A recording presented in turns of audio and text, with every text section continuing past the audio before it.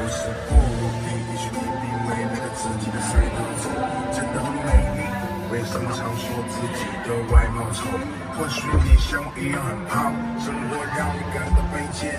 那么当你听到这首歌的时候选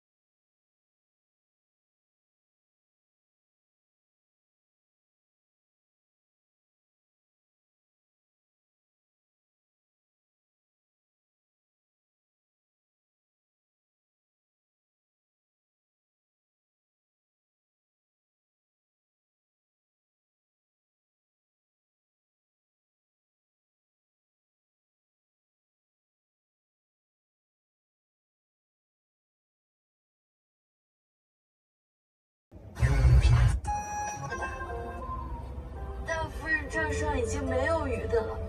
最近连续大雪，都考大雾封行，药价涨了好几倍，爹娘却一文都不肯多给。大夫人只好自己垫银子买药，如今实在是买不起了。